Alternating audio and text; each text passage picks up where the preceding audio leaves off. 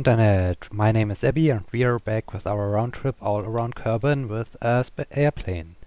So let me climb our back again into the cockpit and yes, here we are aboard. Now let's retract the ladder, start our engines Oh no, I won't start the engines right away. At first I want to switch to the orbital map because Kerbal Space Center is in the nighttime um, currently and I want to fast forward a little bit in time so uh, we can do our fly back home uh, during daylight. So let's move on a bit because I want to have the um, most time of our flight during daylight and um, not being flying through the darkness, which is a little bit more uninteresting for uh, watching these videos because, well, um, you won't see very much during this flight. Okay, we've almost reached the um, the rise of the sun with Kerbal Space Center, so I think we are ready to go. Additionally, we have here our flag from our test flight with the uh, Polar Explorer. I want to use it as a target to have my improvised radio navigation and now we are good to go. Let me uh, start the engines and release the brakes. And yes, let's throttle up and hopefully we have a good takeoff again so we can do our flight back home to the Kerbal Space Center. Okay, this was a really short takeoff. Let's uh, retract the gear and start climbing up again as usual so we come to our cruising altitude and can proceed at a very high um, velocity and do our final leg of this round trip all around Kerbin. Um, yes, so um, as we see some uh, mountains coming up in, at the horizon, my next plan, as I said, is the um, development of a space plane. I was thinking a little bit uh, about it, and uh, well, I come to the idea that I want to reuse most of the parts of the Polar Explorer, but um, I want to change a little bit uh, things because I want to remove these wings over here and um, install more of these um, canards, standard canards, or maybe also the the the improved canard, and uh, have a slightly thinner aircraft or a better spacecraft than um, this uh, type of Polar Explorer, because this is really looking good as an airplane and um, might be also good for flying into space if I add some um, real rocket engines to it, but on the other hand, up in space we don't need uh, so much control surfaces, we don't need um, so much lift, so I will only have um, enough lift to take off and fly and climb up to the altitude where I will use the rocket engines and finally climb up to an, an orbital altitude. So um, yes, this is my current plan. I will try to uh, improve this design of the Polar Explorer by removing a little bit the, the wings and adding some more canards or some other wings. I'm not sure how this will look out. And I will also uh, do some test flights or I will do some test builds if I'm even able to um, take off this, um, these canards or if I have to use these wings to have enough lift to take off. So um, yes, the next episode will be a little bit about testing and um, testing things out and seeing what we need to have enough lift to take off and to reach the um, the altitude of becoming uh, a space plane. So we are entering space and yes, so much about that. I have some some ideas as I said. I have already um, done some some uh, first constructions and I'm not sure if they are good or not because I hadn't the time to do a test flight but um, I'm really looking forward to my upcoming space program because I'm really looking forward to enter the space with uh, some space planes and discover even more than just flying around Kerbin or flying up to the poles. So yeah, um, I think we will have some interesting test flights in the near future. We will have some maybe unsuccessful flights. I'm not sure uh, how successful my designs are.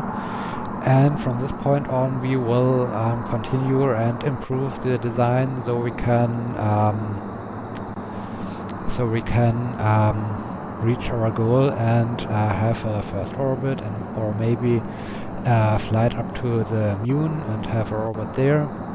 I'm also thinking about because I want to land um, on uh, the moon or Minmus or other planets on my normal gears. So um, one thing I need for this is um, being able to control the the horizontal, no, the the vertical movement of my aircraft, and, uh, and oh, I am almost reached the the altitude. So let's throttle back down and start climbing.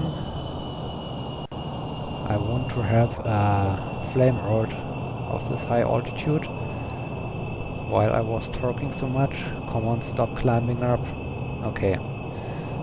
Now, now we are safe. Okay.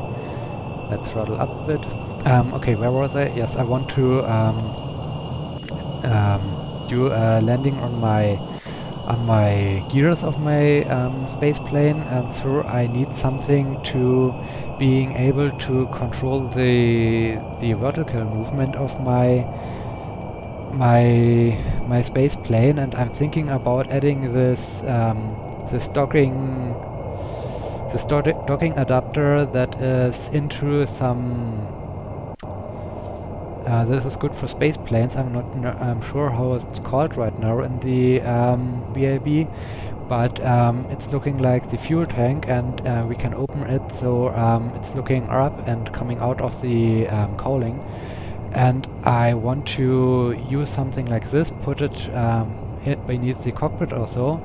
So if it's um, pointing in the upward direction and I use it to click on to control from there, I hopefully able to um, use the thing to control my vertical movement and have a um, gently landing on my um, on my gears without having any trouble of braking or doing other things with the main engines. Um, for this approach I will also um, add the, the tiny engines, the, I'm not sure how they are called, the tiny Rockomax engines I can add everywhere around my aircraft so they are pointing in the vertical direction and I will only use them for my landing approaches on the moon or on Minmus or something like this and I'm really looking forward um, to try the things out if I'm able to um, do a landing like this or not.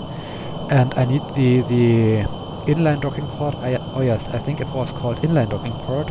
I need the inline docking port because in the current configuration um, the game or the nav ball works only in the the horizontal way and I need something to have an indication for the um, vertical way because if I'm now trying to um, to land vertically I want uh, will land on my engines and that's not what I want. I want to land on my gear, so I have to improvise something um, which I can use to switch the nav ball and I'm coming up with the idea of using the inline docking port and I hope so, and I hope that will um, be working fine and I can do um, what I'm thinking about this and uh, have a gently landing, but um, that's a thing for the near future when we are able to reach the space and establish an orbit with our space plane.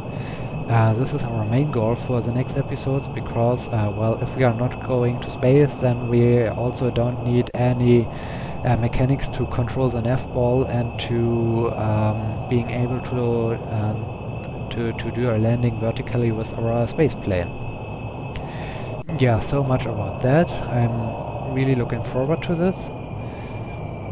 And I'm also looking forward how this design will work out.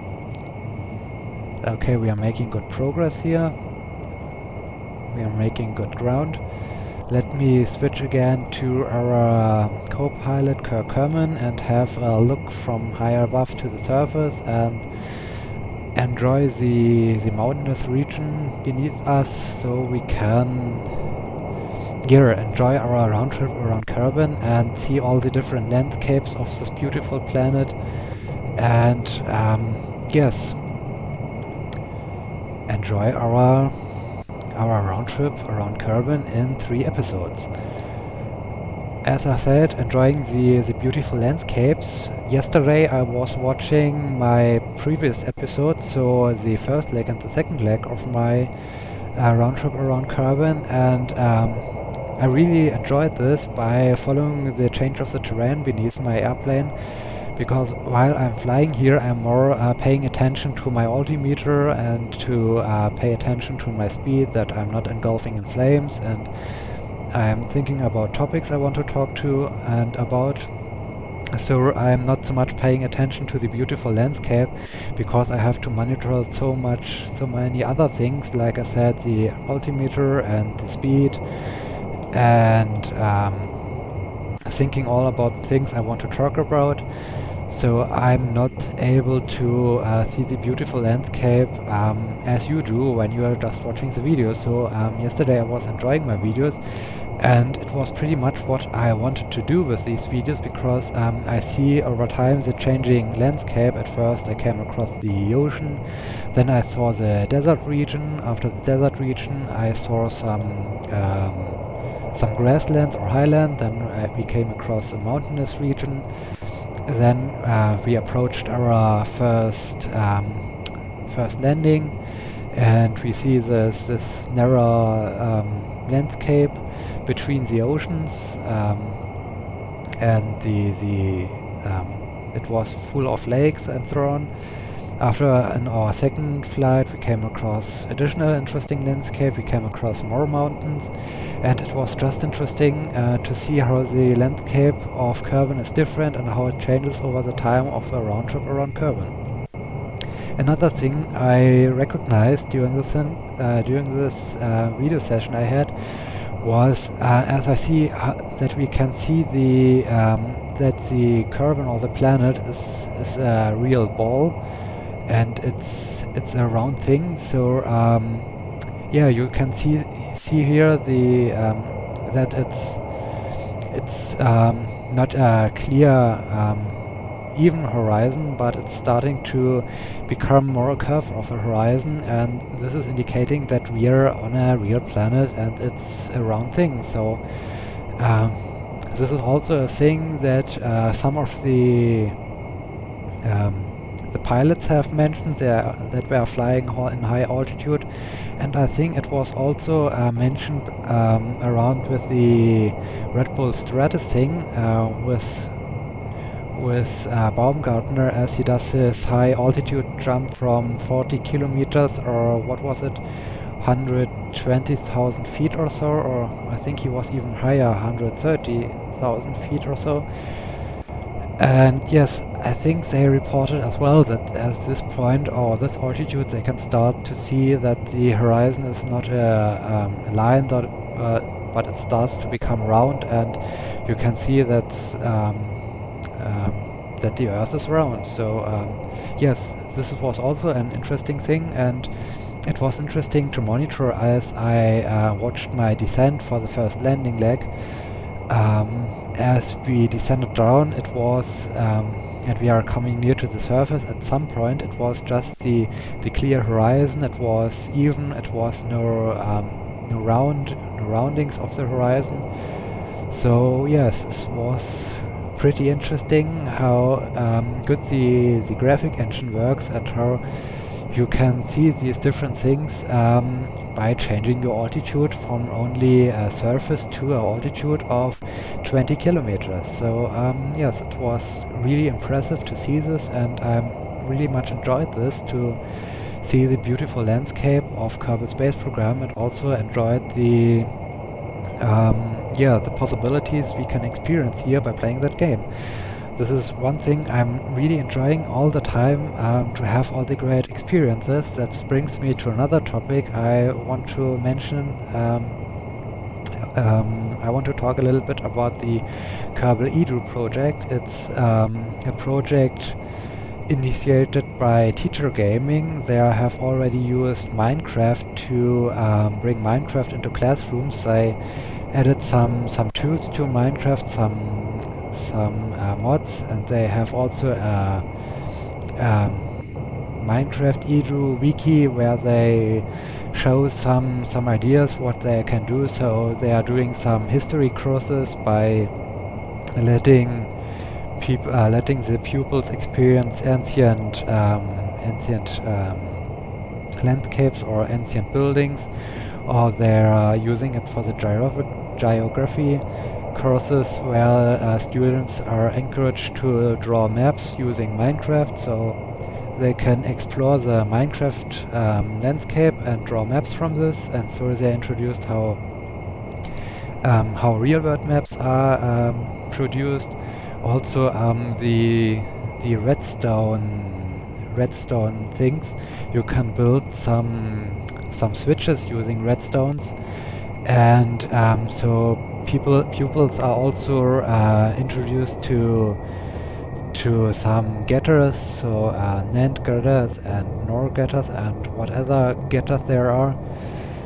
And it was, it, it, it's a cool project and um, yes, Teacher Gaming has also approached um, um, Squad, so um, Squad is helping Teacher Gaming to start their new project Kerbal Edu to bring Kerbal Space Program into classrooms and to allow pupils to experience the um, how an aircraft is working out, why an aircraft is flying, how rocket designs work, what um, what rockets are doing, um, how rockets are flying, and what's all about um, space travel. So I think it's a really cool project and it's a great thing that uh, Squad is so um, supportive and helps teacher gaming out to realize the uh, um, Kerbal Edu project.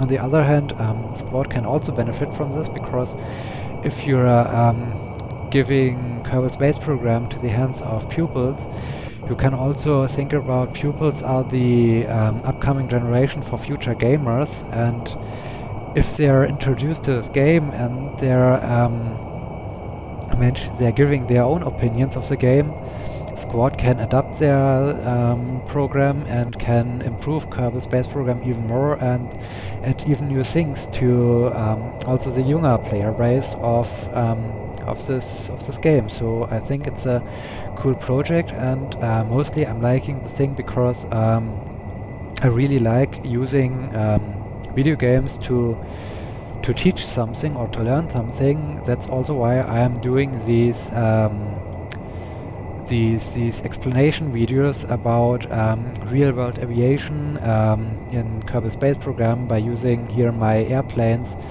and explaining how um, um, navigation works in aviation or how you can do um, what have I done how can how you can do the air the airfield traffic pattern or um, what else is interesting about aviation. So I really like to do the same thing. So that's why I'm also talking so much about um, my interest my interest in aviation and um, seeing that um, also um, other other projects are want to take advantage of Kerbal Space Program to educate someone um, is a real cool project and I'm pretty much enjoying the this whole concept. So um, yes, I'm I'm really looking forward to this, and I hope to see more about this. Um, Squad had during its um, had last week um, uh, um, ask your ask, ask us everything Reddit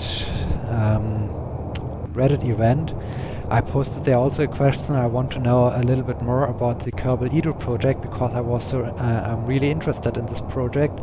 But unfortunately, Squad hasn't answered this question. So, so um, yes, I don't know um, much more about this project than it was covered uh, by other um, by other um, coverages. Um, like and so yeah, um, that's a little bit unfortunate and. Well, it's, it's sad that I haven't got any answer to this, but uh, well, I'm still looking forward to this project. And yes, um, we just have passed by our flag down there at this little island. So that's time to switch our radio navigation um, to the KC NDB, at the ground. So let's uh, set this as a target. So we can use the KSC NDB for navigation and find our way back home because now we are flying high above the the ocean and um, well as I explained to you flying above the ocean you don't have uh, much uh, you don't have much um, reference points because you don't see the the surface you don't see any any um, good reference points you can use for navigation and that's good to have some improvised navi uh, radio navigation so we can um, fly towards our our uh, Kerbal Space Center and have a gently landing over there and finish our um, round trip around Kerbin. So yeah, so much about that. Um, yes, where was I? Teacher gaming. Yes, I'm really enjoying this game and um, or this this project, and I hope this will uh, end in a really good success. And um, yes, so and I also like to know more about it. So it was uh, unfortunate that I haven't got any answer to my question, but well, at some point we hopefully will see more about this project when maybe it goes live and uh, we get more information from Teacher Gaming and uh, can read some more about um, this project. So yeah, so this is also a really cool thing and um, I'm really looking forward to hear more about that. Okay, um, what else? Um, we are approaching our our goal of coming back to the Kerbal Space Center. I am also looking forward for my upcoming space um, space plane project. I'm really um, hoping it will be a good success and it will uh, make some some fun and a lot of fun because we have to find out more interesting things. Um, I'm using the space, uh, this airplane now for for quite a long time. I was flying with this almost this configuration to the North Pole. I was using this configuration for my South Pole flight, and um, so here um, I'm really looking forward. And I oh yeah, and I use this aircraft configuration for this round trip. So I'm really looking forward to do other things like having a space plane and fly high up into space and establish an orbit and discover the other celestial bodies. Yeah, uh, what about our fuel consumption? We've almost used half of the fuel of our aircraft, so I think this um, aircraft is still able also to fly up to the North Pole again.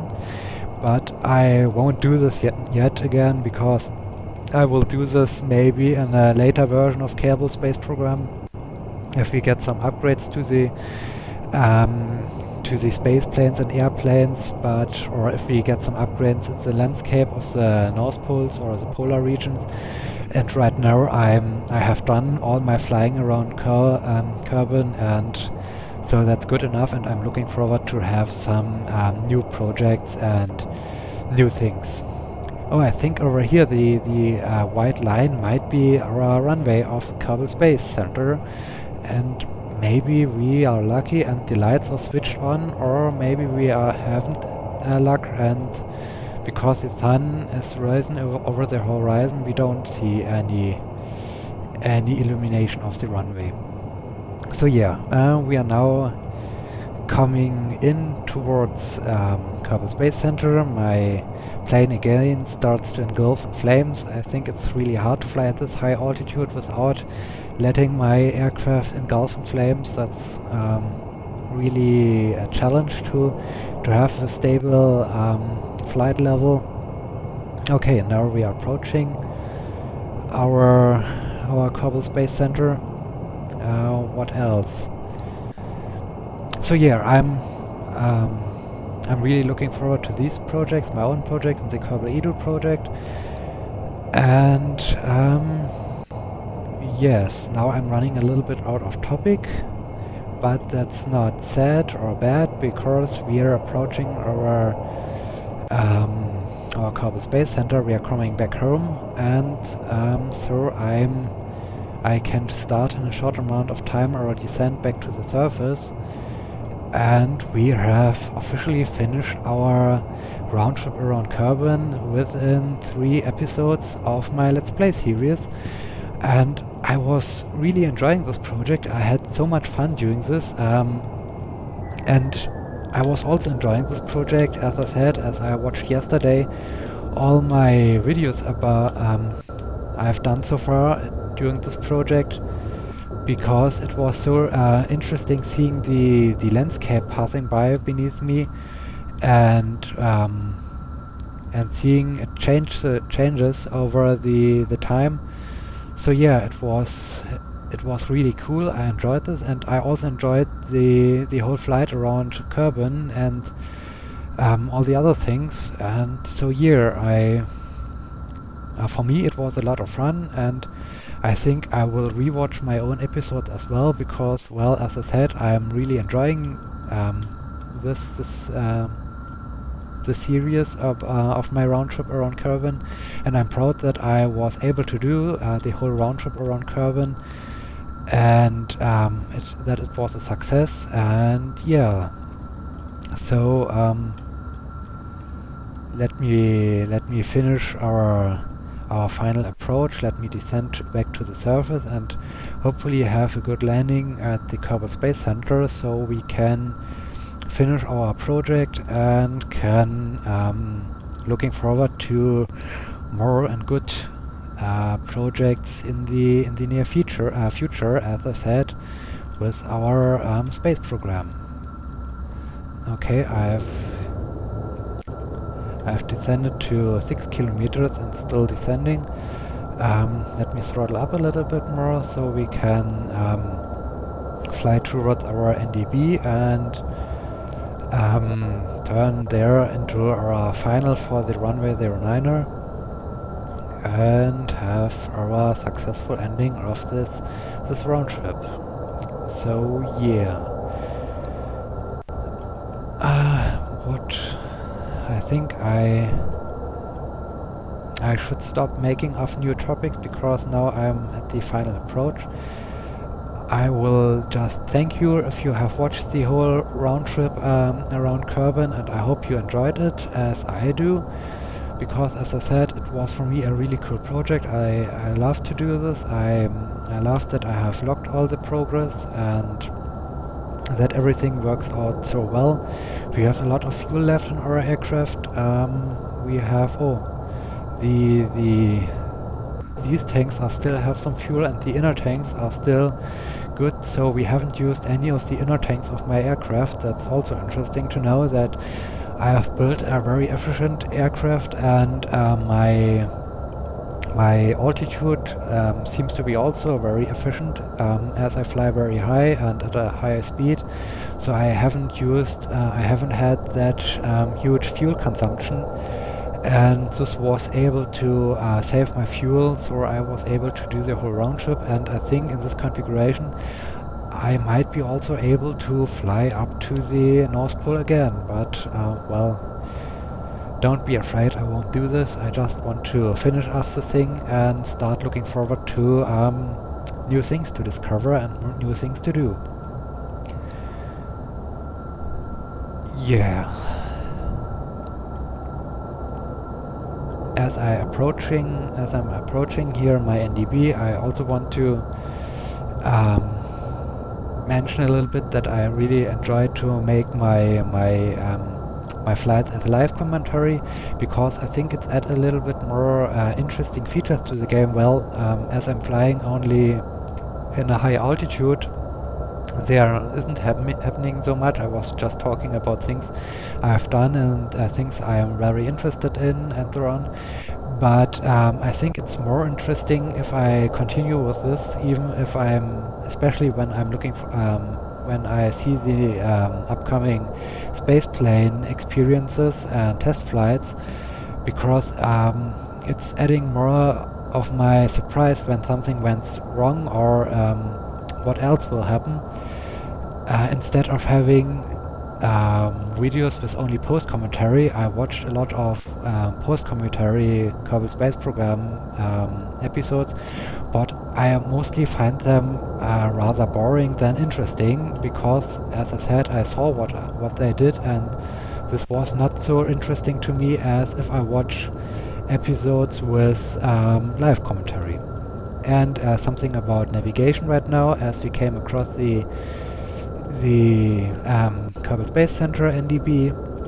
I um, know that I was sure that I was at the center line of my runway. I turned at this point to the 90 degrees mark and entered through the center line. Now I'm on final approach of the runway. And this is also a good use of um, radio navigation because now uh, I was sure that I was um, aligned with the with the runway and with the center line and um, I know I knew if I would turn at this position I will be able to um, align myself with the center line and um, have a gently landing. So I used radio navigation also for my final approach of the um, runway and to finish my my round trip. Now, um, because the whole trip um, was such a long time, let me also take some time to hopefully manage to turn this aircraft a little bit around. I want to park it somewhere out here um, and let it standing there as as a memorial for our successful round trip around the planet of Kerbin. I was enjoying so much. So let me, yeah, let me uh, do the parking over here. Come on, taxi a little bit further. And now we are uh, taxiing towards the parking position of our aircraft. And yes, I think that's a good spot. Now let's brake, engage the brakes, switch down the engines. We have still a lot of fuel in our aircraft switch out um, SAS, switch out the lights, extend the ladders, and um, let's plant our final flag because we have to do this to complete our uh, mission, our round trip. Oh, I had to wait until the, the, the ladder is fully extended. Okay, let me run over this this green spot over here to plant our flag and to finish off our our round trip. Um, I hope you enjoyed this video series. I hope you liked it as I do. I hope you enjoyed it. If you do so, please become uh, please like my video on YouTube. Please um, leave me a comment what you are thinking about my round trip if you enjoyed it as well as I do. And also I would appreciate if you become a subscriber to my um, YouTube channel. And yes, so much about this. Now let's add a site name, final leg, final round, final Kerbin round trip leg, not leg, leg. Selby and Kirk did it. Okay, we finished and as I said, we did it, I did it. I would appreciate your uh, like and your subscribe subscription and your comment. My name is Seppi. Until next episode when we experience our space planes. See you!